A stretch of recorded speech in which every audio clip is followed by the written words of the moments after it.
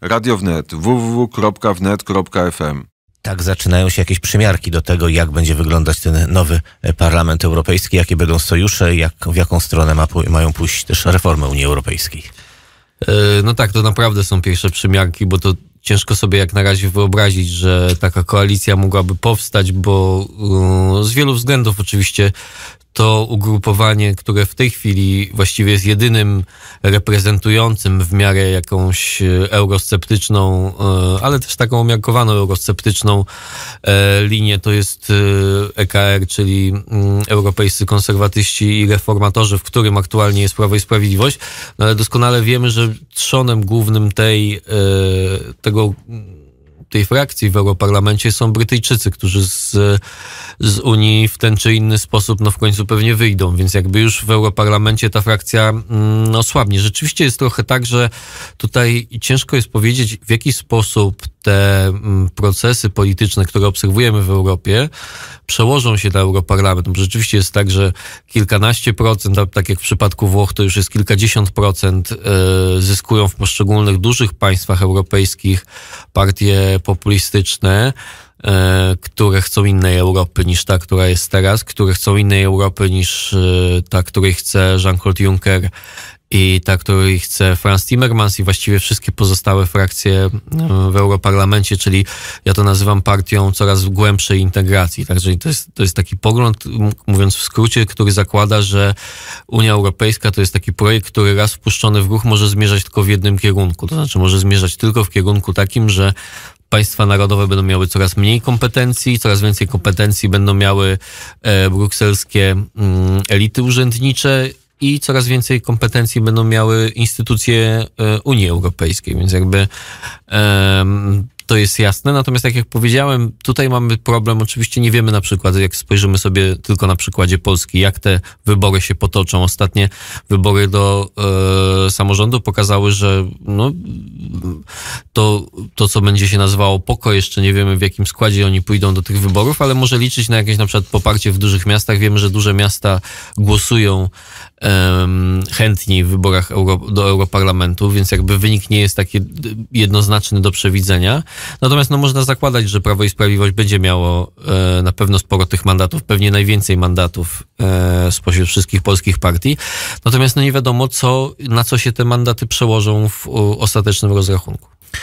Czy pewnym problemem tutaj dla polskiej prawicy nie będzie to, że jednak ta antysystemowa prawica europejska przeważnie dosyć życzliwie patrzy na Moskwę?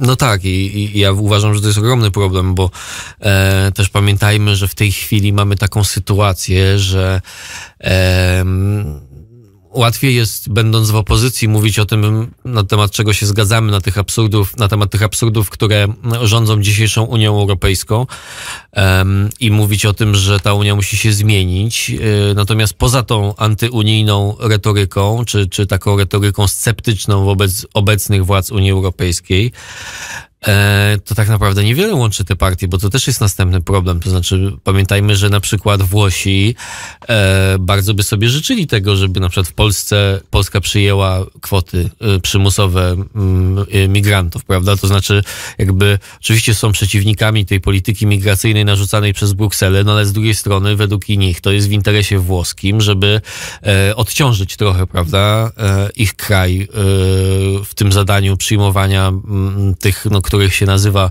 ubiegającymi się o azyl i, tak dalej. E, oczywiście jak spojrzymy sobie właśnie na Salviniego, jak spojrzymy sobie na AfD, jak spojrzymy sobie na Front Narodowy, to są chyba w tej chwili te najbardziej, e, najsilniejsze e, ugrupowania anty establishmentowe, takie nazwijmy, czy populistyczne, to rzeczywiście one wszystkie się cechują e, zdecydowanym takim prorosyjskim e, sznytem i to nie jest coś, co jest gdzieś tam ukrywane, czy coś, co jest wątpliwe, to, to jest raczej pewne.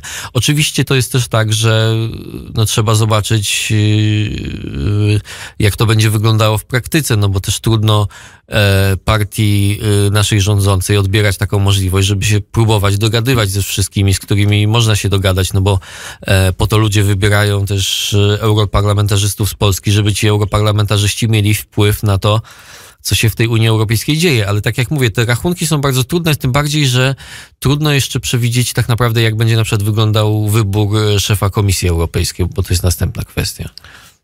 Tutaj często się porównuje politykę Orbana do polityki Jarosława Kaczyńskiego. Widać pewną różnicę, jeśli chodzi o taktykę europejską, dlatego że Orban jest w Partii Ludowej. Obserwa wielu obserwatorów twierdzi, że przy całej ostrej retoryce on tam potrafi jednak różne rzeczy, zwłaszcza w relacjach z Niemcami, sobie jakoś załatwiać. Natomiast e, Prawo i Sprawiedliwość jest w tej mniejszej grupie. Niektórzy wskazują, że ona właściwie nie za wiele Prawo i Sprawiedliwości daje, no poza takim pokazywaniem, że my jesteśmy przeciw. No, y, to jest częsty zarzut, który się pojawia wobec naszych polityków, którzy działają w Brukseli. To znaczy, mieliśmy tego doskonały przykład, a raczej, że tak powiem, najgorszy przykład y, podczas y, dyskutowania tej dyrektywy transportowej, gdzie, gdzie na szpicy tego całego procesu był minister Adamczyk i rzeczywiście to, to wyglądało tak, że raczej zależało nam na tym, żeby wszyscy się dowiedzieli, że my jesteśmy przeciw, niż, niż na tym, żeby uzyskać przynajmniej jakieś koncesje dla naszych przewoźników. I to, e, i to na pewno um, należałoby zmienić. Natomiast pytanie jest, czy, czy to, o czym się mówiło już jakiś czas temu, teraz te spekulacje przycichły, czyli przejście PiSu do grupy Europejskiej Partii Ludowej, to rzeczywiście byłoby lekarstwem na to, żeby tego wpływu w Brukseli mieć więcej, bo ja bym nie przeceniał, ja wiem, że my często mówimy o Orbanie jako takim skutecznym polityku, ale on też ma swoje pro problemy z Brukselą. Pamiętajmy, że Juncker, e, Timmermans i, i całe to towarzystwo, cały czas Juncker ostatnio w wywiadzie mówił wyraźnie, że poprosił liderów e, Europejskiej Partii Ludowej, żeby Orbana stamtąd usunąć. Oczywiście oni nie będą chcieli tego teraz zrobić, bo wiedzą, że tych szabel będzie e, brakowało w tym przyszłym Europarlamencie. E, natomiast, e, natomiast to jest tak, że ja, ja bym z tą sprawnością Orbana, tak jak powiedziałem, nie przeceniał, chociaż rzeczywiście widać tą różnicę, że on w tej Europejskiej Partii Ludowej chce pozostać i, i tą propozycję, którą składa Matteo Salvini, mm, już tak się mówi o tym, że odrzucił, więc nie, nie będzie częścią tego populistyczno-antyunijnego bloku. Można powiedzieć, że mamy do czynienia z pewną próbą jakiejś ofensywy europejskiej, przynajmniej w mediach europejskich, bo premier udzielił ciekawego wywiadu ważnej gazecie. No tak, ten wywiad premiera Financial Times to jest kolejny sygnał na to, że tacy przywódcy e, partyjni czy rządowi, jak Mateo Salvini czy Mateusz Morawiecki, myślą o tym, że e, myślą o tym, jak zmienić Europę, myślą o tym, co trzeba w tej Europie, e, w tej Europie zmienić, by ona działała lepiej. E, I to, co oczywiście Mateusz Morawiecki mówi, że ta Europa po eurowyborach będzie inna. Oczywiście polski premier liczy na to, że ona będzie inna w takim kontekście, że właśnie Prawo i Sprawiedliwość chociażby, czy Lega Nord i, i, i inne takie ugrupowania, które do tej pory nie miały wpływu na to, jak, jak sprawy europejskie się toczyły, będą miały wpływ. E, już nie chcę jeszcze raz powtarzać tych, tych rzeczy o tym trudnym rachunku wyborczym, jak to się może przełożyć, natomiast na pewno będzie to inna Europa w takim kontekście, że e, ten Europarlament będzie jeszcze słabszy. To znaczy będzie miał jeszcze słabszą legitymację, bo, bo będzie bardziej rozczłonkowany.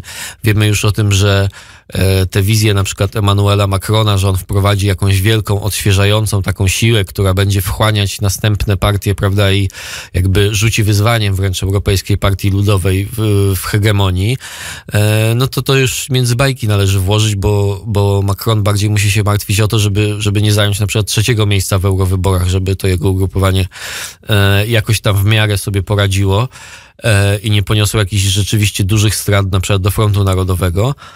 E, natomiast to co, to, co mówi Mateusz Morawiecki, to jest jakby do, w pewnym sensie do przewidzenia, ale też ważne, że w że w mediach zachodnich, że takie, mm, e, takie wnioski się pojawiają, bo wiemy dobrze o tym, że te elementarne założenia Europy tak zwanej Europy Narodów czy Europy Ojczyzn są mniej więcej podobne i znane e, od lat. Problem jest w tym, jakie, jakie wprowadzić w życie, bo tutaj problem nie polega na tym, żeby więcej kompetencji wróciło do e, państw narodowych. Problem polega na tym, jak doprowadzić do tego, żeby instytucje unijne, które raz zdobyły jakieś uprawnienia, tych uprawnień się pozbyły. Tak? Bo dzisiejsza Unia zarządza mniej więcej tak, że E, I sposób zarządzania Unią Europejską wygląda tak, że Komisja Europejska wymyśla jakieś y, propozycje, na przykład tak jak było, z, y, świetnie to było widać na przykładzie tej ustawy, y, czy, czy tej dyrektywy o przymusowej relokacji migrantów.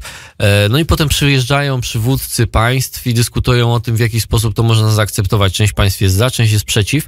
Natomiast w tym całym mechanizmie jest sporo takiego przymuszania, to znaczy sporo straszenia, sporo, e, sporo, tak jak powiedziałem, zmuszania zmuszania innych państw, y, innych na przykład niż Niemcy czy Francja do tego, żeby się w jakiś sposób dostosowały. Nowa Unia Europejska według mnie powinna działać y, według takiej zasady, no, że jeżeli czegoś się nie da uzgodnić pomiędzy państwami, to Unia Europejska się tym po prostu nie będzie e, zajmowała. Tak? To znaczy, że, że ta Unia Europejska, tak jak mamy w myśli politycznej e, te, teorię państwa jako stróża nocnego, no to powinna być takim właśnie stróżem nocnym. No, tylko czy to nie jest tak, że to jest bardzo ładna teoria, natomiast jak już ktoś zdobędzie pewne uprawnienia, jak powstała już ta ogólnoeuropejska biurokracja, jak już są te związki między politykami krajowymi a tym poziomem europejskim, że oni po prostu już nie dadzą sobie tego odebrać, że to już zbyt mocny jest ten organizm, który osiadł na tej dawnej Europie, żeby on dał sobie tak po prostu odebrać te wszystkie uprawnienia, przywileje, pieniądze.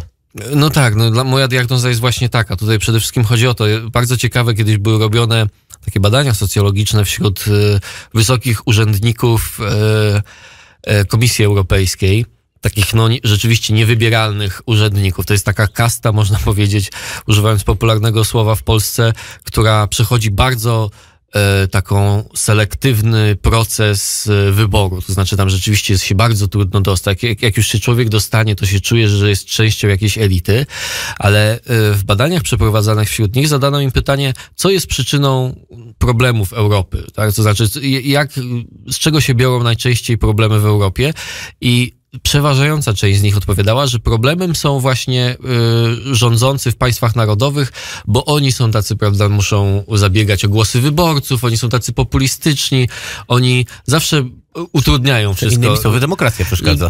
No tak, czyli innymi słowy przeszkadza demokracja i właśnie to też ja wskazuję na to. Znaczy, że Unia Europejska nie jest y, y, organem, który w jakiś sposób znalazł się w kryzysie, bo przestał być demokratyczny. To jest organ, który od początku został powołany na, na, po to, żeby być zabezpieczeniem przed tą demokracją. I, I to jest największy problem, że jeżeli tak powołuje się jakiś organ, to trudno potem liczyć, że demokratyczne wybory z, y, wprowadzą w nim jakieś radykalne zmiany. Jest przed nami Brexit. Czy możemy się w tej chwili na początku roku spodziewać, w którą stronę ten proces pójdzie i czy w ogóle pójdzie? No nie, nie, zupełnie się nie wiadomo czego, e, czego spodziewać. Wiadomo, że bardzo osłabiła się pozycja e, Terezy May w całym tym e, systemie. To też jakby można Brexit potraktować jako przyczynek do tej dyskusji, którą prowadzimy. To znaczy widać po europejskich biurokratach i to jak byłem kilka razy w Brukseli, to, to, to, to, to, ta atmosfera była widoczna, że oni mają poczucie, że oni tę, tę całą sytuację wygrali, bo to Europa wie czego chce, to znaczy ustaliła, prawda, wynegocjowała, zaakceptowała e, swoją wersję umowy, którą też oczywiście zaakceptowała premier May, ale to premier May ma kłopoty, prawda? Premier May ma kłopoty, żeby przepchnąć się przez parlament. Z rządu premier May odchodzą ministrowie, tylko że to też jest takie patrzenie wąskie, bo, bo znowu Europa jest sprawna w tych takich zakulisowych manewrach, natomiast to nie znaczy, że Europa też e, no, nie jest w głębokim kryzysie, bo utraciła jedno z większych państw i to jedno z większych państw odejdzie z tej Europy.